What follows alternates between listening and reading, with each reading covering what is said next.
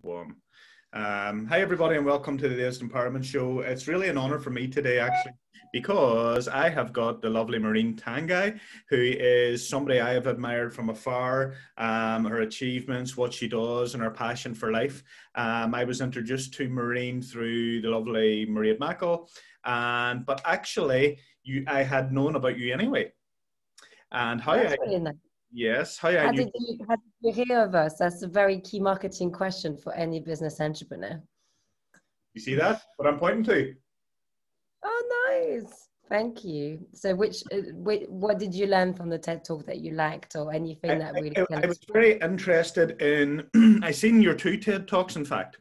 Um, the one, the one that I, the one that I uh, listened to fully was the one about how social media visuals affect our minds. And mm-hmm. TED is something that's a big part of my life. I'm a mm-hmm. TEDx creator, license holder, uh, multiple time organizer and speaker myself. Not at your level, of course, but but I'll get there slowly. I don't think I have any TED level. I just I've just done talks, but I have I haven't got any levels of TEDs. But it's really nice, and I think it's visual diet first is really the heart of our philosophy at the company as well. So it's just really nice that you've you related to it as something yeah. that's very dear to us. Yeah, connected with me. And tell me what that talk like. Were you approached to do that talk, or did you apply to do it, or what was your what was your approach to that talk? How did it happen? Yes, I was approached to do it um, on that sub- subject as well, which was, you know, definitely a challenge because the subject of visual diet is the idea that visual shapes your life. So you are impacted by the visuals you consume daily, whether it's on the street, whether it's advertising, whether it's on digital. Um, the issue was very much when I was approached to do the talk on how was I going to prove this? What kind of studies could I lead? Because as you know, with the TED side, um, you can't just say instinct wise, I believe that, right? So I think it, it, it's a really nice um, story because since I was approached, I had to therefore demonstrate it and deepen the study side that we had led on that topic. Yeah. Um, and then it's it's about to become a book, as in it, the book is written, but it's about to be also released as a book, um, which has even deepened the study side of it. So, no, it's it's just I hope people are more and more self-aware on if you live surrounded by visuals who make you better, who inspires you, will you know that really has an impact. If you go past an advert that makes you feel shit or insecure, then that really has an impact as well. So it's just that awareness around your visual environment that we're trying to really bring out. Yeah, yeah. Well, you do an amazing job of it because, uh, and I know it's your life, but you're like, uh, you know, see, rewinding back, I was looking, you founded your own uh, art agency in 2015. Is that right? Yeah. And um, what is and I, I sort of got to know a bit about what it is. Like from the outset with an art agency, I was like, right, art, nice pictures, walls, galleries, but I didn't really know, like in my ignorance, I didn't know what a art agency is. So what is an art agency? Yeah, I mean, like I think it's not an issue of ignorance. It's an issue that we were the first talent agency to be in the sector. So that's the reason why being novel obviously means people might not know what that means. Um, as you say with a gallery, you have works on walls. It's almost like a very luxurious shop, and then you buy luxury items.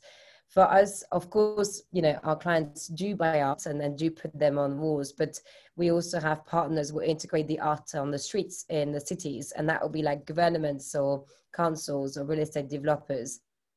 So here it's less being a shop, it's really more being an office and being an agency that can help you place in the work of the artist in that context. It's the same when it comes to running creative collaborations. Um, we've worked with very known brands, we've worked with, you know, as a creatives in partnering our artists and doing that. And that's the same when it's not really coming to a shop, it's really kind of aligning um, the vision of your client with the one of your talent, which is much more what a talent agency would do in music, film, and sport, and just make sure that therefore the collaboration is a success. So it's um, for us, it felt very obvious that there was a need for these talents to have a talent agency. Um, and then that's how we became the first one. And and yeah, we, we feel we're doing a lot more than galleries. We feel that this is a future of the the market as well. Um, and our artists want to do all of it. They don't just want to be selling their works. Yeah, it's uh, honestly, I'm blown away by your your vision for it let's say because not everybody has a not everybody can see things like that, you know, and can see a need or a niche. And it's very much, Marine, you know, you know, it's it's very much like Think Network as well, you know, in terms of a vision. Like I, I looked around the world when I was looking for, you know, motivating, inspiring content and and daily and, and environments where people could be the best versions of themselves and so on and so forth. And I see bits and pieces of it everywhere. Um, mm. But I don't see it all together in one place. I don't see people creating bespoke ta- uh, content and punching it out on a daily basis to a network of like-minded people and a platform that is committed to helping people be better, be the best versions of themselves within this particular genre. And and that's why people say to me, "Oh, well, you know, who do who who who who do you look up to, or who do you benchmark?" And and it's and I say it humbly, but I look up to myself and, and, and I don't mean that arrogantly or any way at all. I'm sort of inspired by ourselves and what we're doing because I can't, I look around and I couldn't say, oh, that platform there, that's who we want to benchmark, be like, surpass, um, because because I don't see it. And like, you know, so I feel I feel I'm in that space, mind space that you're in. Does that make any sense at all? Yeah, no, I mean, look, I think anyone, I think when you want to be an entrepreneur, you want to add value ultimately. So if um, if you feel you're adding value that is not existing, I think that's the best place to be as an entrepreneur because it means that you can really um, change the sector and add value to that sector as well. Yeah, yeah. But see, rewinding back then, take me from take me from I suppose um, you starting out with like where you're from and, and what you started to do and where it led you to. How did you get to where you are now, if you know what I mean, from that from from from that uh, that internship with the BBC way back in the day? Um, so I've been, I'm born on a tiny island off the west coast of France, which is 9,000 people um, a year, so it's really small. We're six of the same age at school, which um, is also very limited in terms of options of people that you can know. Um, and I, in fact, we were due to be learning to read at eight instead of six. Uh, so my mum took on to teach me to read instead. Um, so I grew up in a very rural part um, of Europe, and and I say it in a really beautiful way. I think it was a really stunning place. I think I wasn't in a really happy family home, so therefore. I think creativity um, and anything that was visually inspiring really kind of helped me shaping who I was going to become. And I think it quickly became an escape. So anything that was um, a book, um, a visual that was inspiring, a, a, play, anything I could have access to that felt like an escape, I would be consuming it um, and really enjoying it. So I think that the call to creativity was really from um, from an early age, an early stage of my life as well, and um, and then you know it kind of led me, as you said, to kind of study philosophy and literature in France and apply to the BBC when I was 19. Um, I did send a poem to apply because I felt that motivation letters were a bit too structured, um, and you know, and and therefore I I wanted.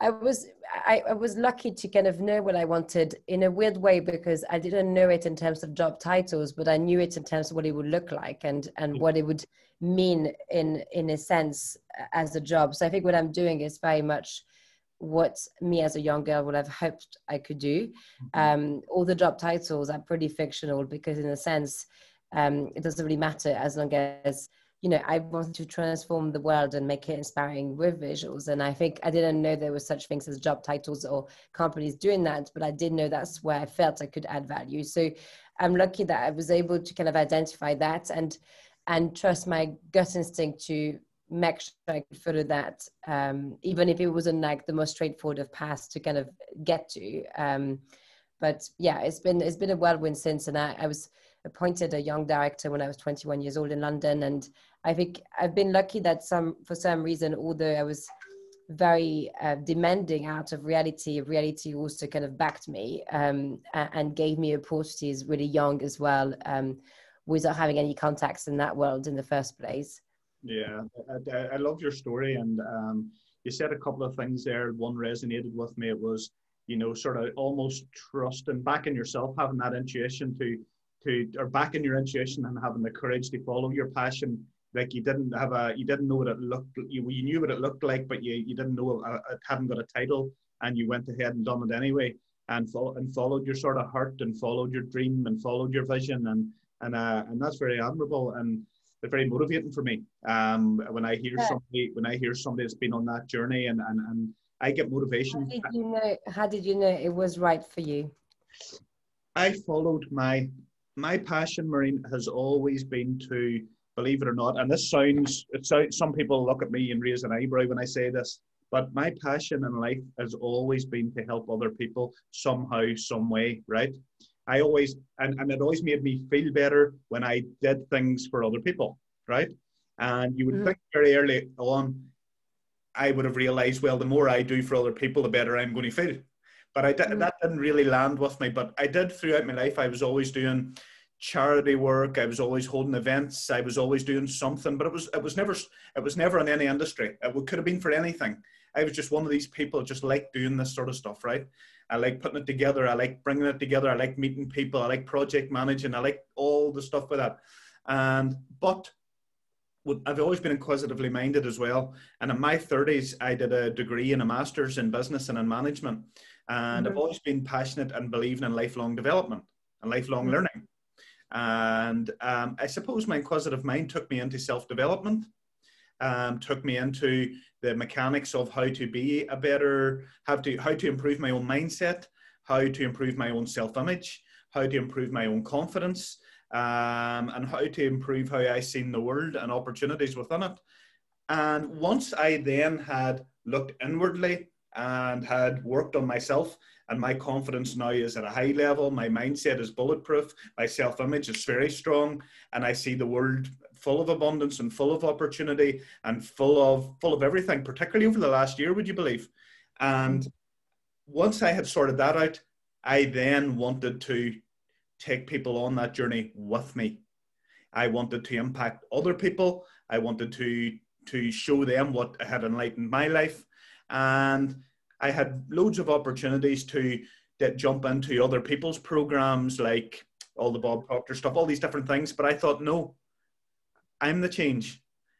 I'm the we are the change. We we we will be the platform. We will be the we will be what I am look what what what I desire to achieve. We are we are it. And I am it. And and I just had that belief in myself, Marine. And then we just developed this platform. We I strategically network with amazing people, including your good self. Now we're talking. I do that like times a hundred and opportunities come thick, fast my affiliation with TEDx has been strategically amazing. The, um, and you want to know something? This is my purpose in life. This is what I was on this put on this earth for. It was to make the world a better place, one event at a time, one TED talk at a time, one empowerment show with Marine at a time, one clubhouse room at a time, one webinar, one member, one Zoom, one everything. Everything I do must add value. If it doesn't add value, I'm not doing it my life's my time's too precious my life's too precious your life's too precious and if it doesn't add and your time is too precious if it doesn't add value i'm out and if it does and that means me giving value as well and um and i'm so passionate about it honestly like it took me 42 years 42 years to find my purpose in life Marine 42 i know i don't look 44 but i am and uh now i've found it i am like a I'm like a Formula One car with an unlimited fuel tank. Never short in motivation, ever. It's amazing. Also, it's an amazing feeling for you to be feeling that way. Yeah. And what about you? Like, like, like, uh, is this truly your calling in life, your purpose?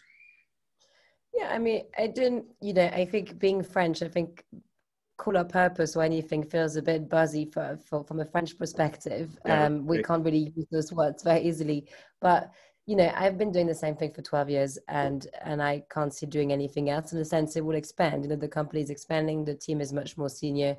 Um, i've also started investing in company in my space as well. Um, you know for me like driving positive impact to the sector and making sure the sector change um, you know to bring more interesting projects into it to have more interesting artists into it is something that i see myself doing. I don't really mind the format in which i will be doing it. I think uh, we're lucky that um, theatre is exploding and we're looking at the states office for the first one at the minute. Um, but I think it's less than a core and a purpose at that point. It's just more something that I really think there's a there's a need for.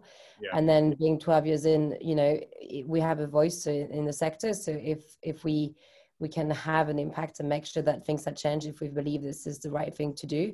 So there's also a sense of responsibility because I think the I'm very lucky to have the life that I have now, and I feel that if I can help it and, and kind of bring those responsibilities in the sector, then I'm delighted. So, you know, I, I've, I do think I've ever changed since I'm five. I think this is where I'm really like, it's amazing that you've been so patient to find what you wanted to do. I think I've always been in a position where this is all I've ever done. Um, and there's, that's very much filled kind of, this is all I know how to do and all I want to do. Yeah. Um, so I wouldn't have it years away. And I don't think I would know how to do it in a years away. If that makes sense. Yeah, perfect sense. It makes perfect sense. What motivates you in the daily though? What motivates you? Where do you, where does your like what motivates you? What motivates Marine to go right?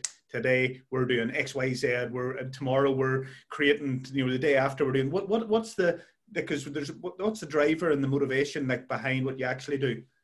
I think it's it, it, depends on which stages of the company you build. I think at the start, obviously, it's a vision that motivates you because there's only you. So yeah. you have to get up and make sure that you execute the vision and and make sure the vision that gets there. And um, in part two, I think it's it, it's so much easier. But the second all the projects happen, you know, I get up and we have amazing uh, people coming and say, "We want to do this with you," or "This project is ongoing."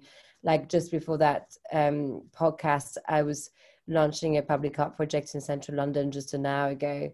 So I don't need help getting up in the morning. I think help getting up in the morning comes when you start a company and you need to convince a lot of people and you get rejected a lot and and you're still on your own. But at that stage, frankly, like I work with people that I adore. I think they're incredibly smart. I think they really are super talented, whether it's my clients, whether it's a talent, whether it's a team um, team wise, you know, Lisa and Jan just exited their own company and then they joined us last year. And uh, Blue was at Vogue as a director of partnerships before she joined us. So they all know a lot better than me what they're doing. So um, that's my senior team, and it's a joy to learn from them on a daily basis. So I think it's not so much as motivating. I think every day brings a lot of surprises. I think also, you know, it comes a point for the business where it's it's you know you see also things that you even had hadn't dreamed of because you're so grateful that they're even still coming or things are even bigger than what you had dreamed of. So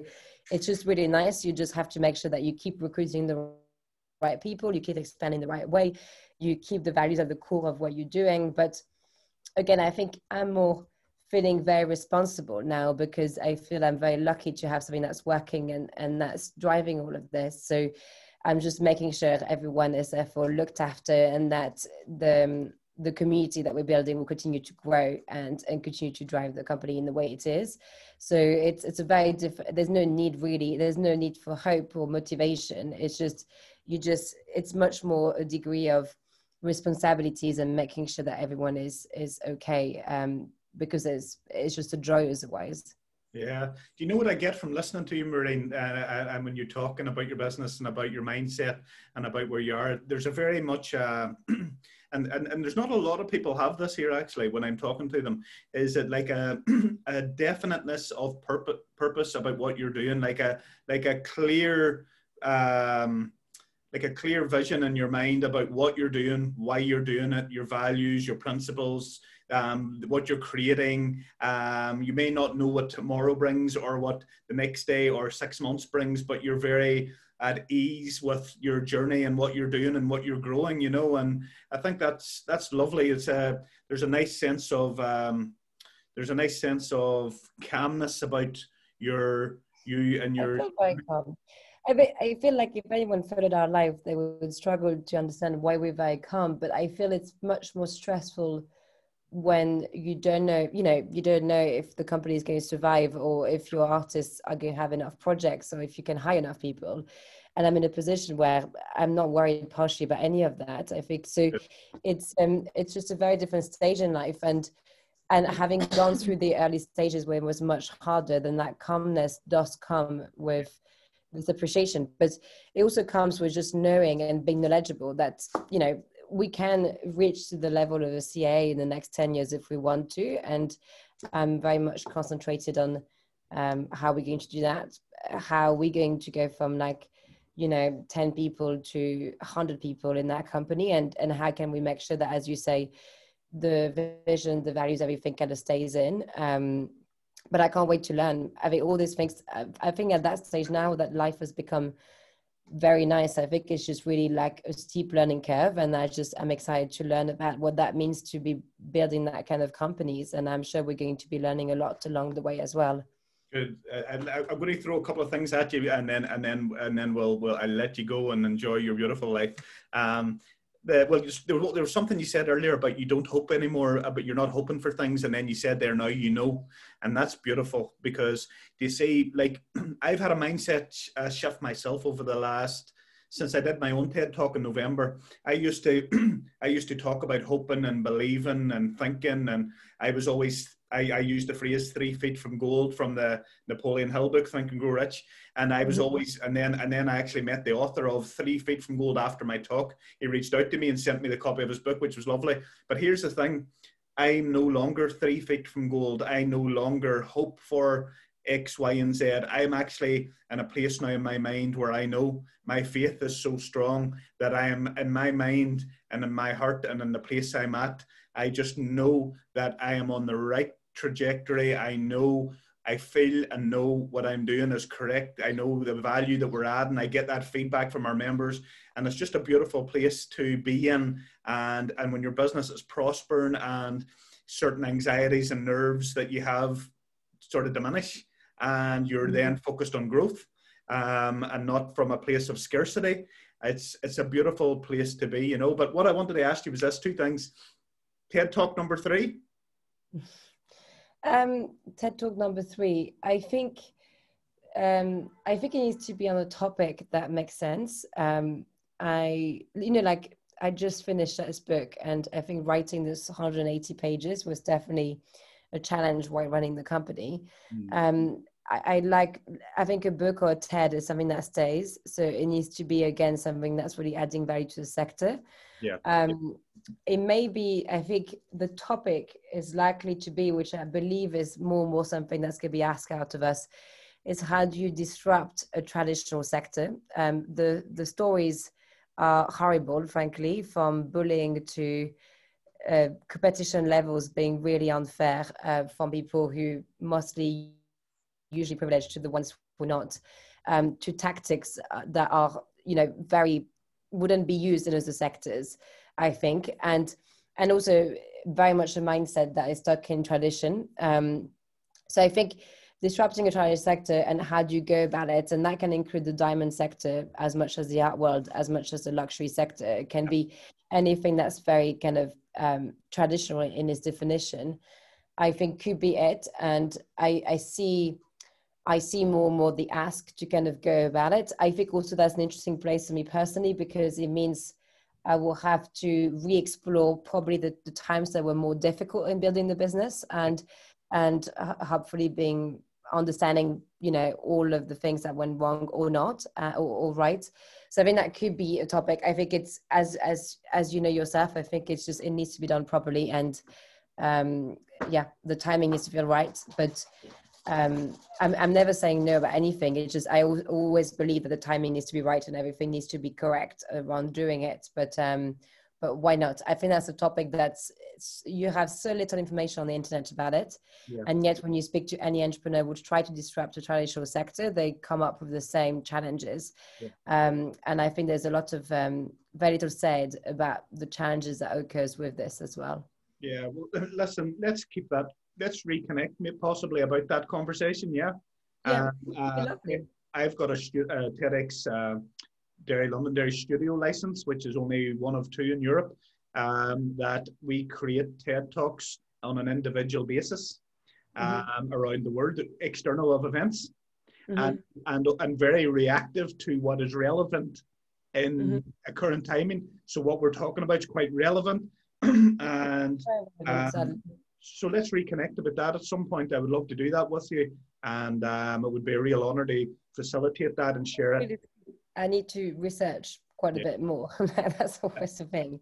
Yeah. But I am I cannot wait to go back to research. I think I spend my life doing things that it's like going back into the swimming pool and diving deeper because you know this is the only way you can learn anything about anything. So yeah. I think but I just I get upset hearing about um, how how much harder it is um, into this kind of sectors to do anything, and that that does bother me mm-hmm. um, because I do think the sectors really need that disruption.